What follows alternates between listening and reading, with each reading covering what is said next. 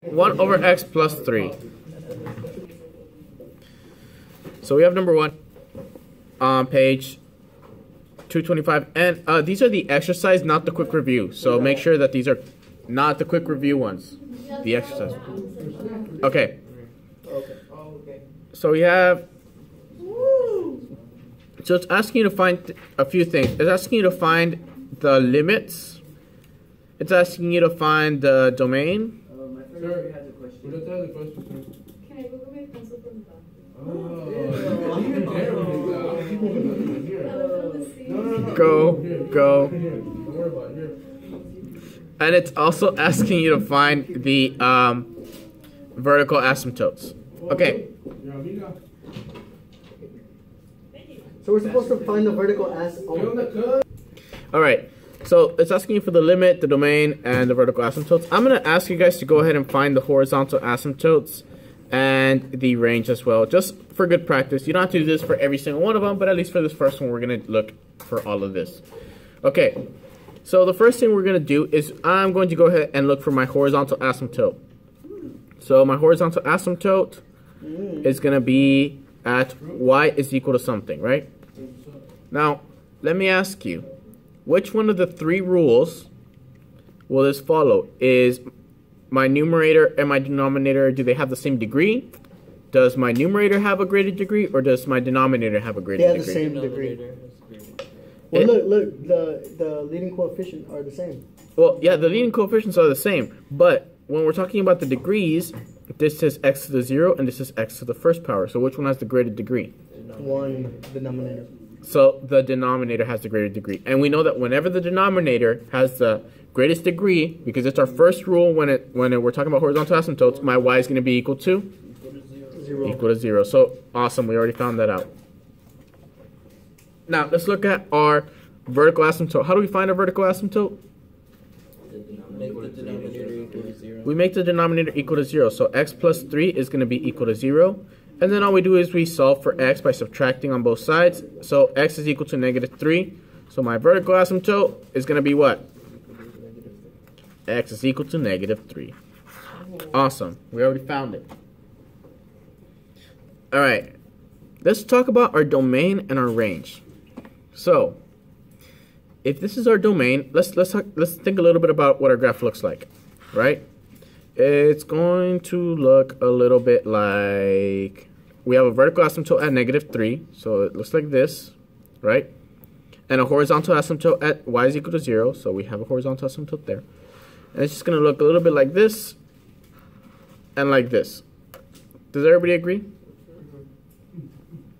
Now, if we're talking about domain, which is a set of all x's, does it go on forever to the left?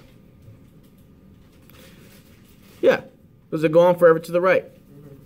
Which is the only number that it will never, never touch? Negative 3. So we can write our domain a couple of different ways. We can say that the domain is going to be, in set notation, it would be something like the set of all x's, such that x is a real number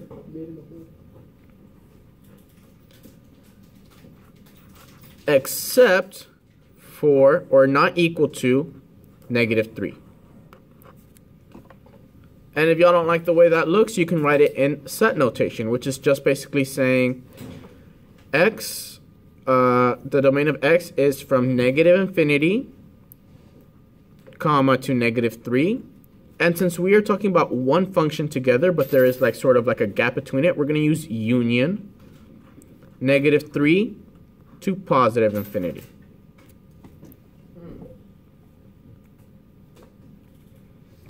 And so for our range, we can do the same thing. We can say that our range is going to be the set of all y's. But instead of using negative 3, what are we going to use?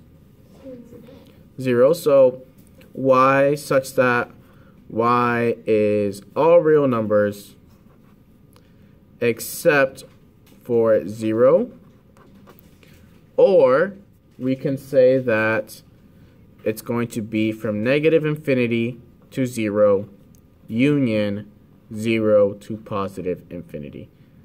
Now, what would you guys do if we had like more than one vertical asymptote? For example, let's just uh, do like a little side note right here. If my vertical asymptote was, let's say, VA at x is equal to negative 2 and 2, what would you guys do?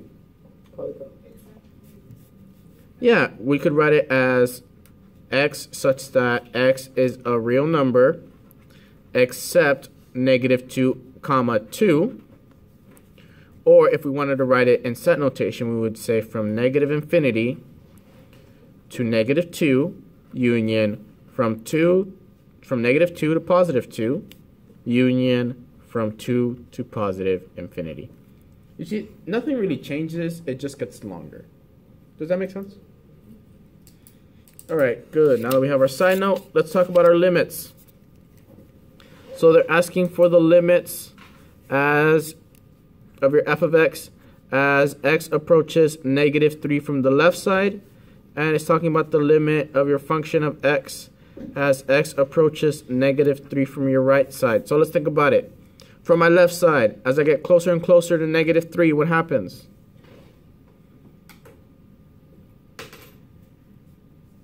Ladies and gents, if I follow this purple line right here, what happens? It's going to go negative. It's going to go towards what? Negative infinity. And if I'm approaching from the right side, I'm writing this little purple line again. Where am I going towards? Positive infinity. I have a question. Yes, Julieta. How do you know like which way the thing of the numbers are? Um, like whether they're gonna be like this or whether they're gonna be like that. Well, one's a positive function and one's a negative one. So the positive one will always look like this. But like for example, if you had like a negative up here, and that function was negative, then it would look like that. It would just flip. Um, if you're not sure, at least for right now, I don't mind you guys graphing them to see them. Um, so you can definitely do that for right now. But I think when you get to calculus, they're going to want you to be able to tell without uh, having to graph them. And then you would just plug in numbers um, to test them out. Are there any other questions? Guys, I really think that you guys can finish at least up to 22. Um, so go ahead and try that out. Um, and let me know if you have questions. We have to find.